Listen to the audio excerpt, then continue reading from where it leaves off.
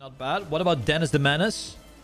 Dennis the Menace is in the contention for that. Someone hit the pole behind and he had the he had the horn. He had the horn.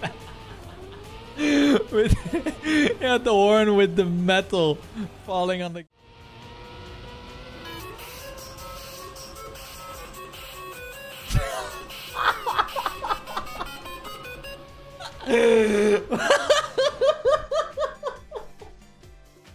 it's the Spammiej moments outro.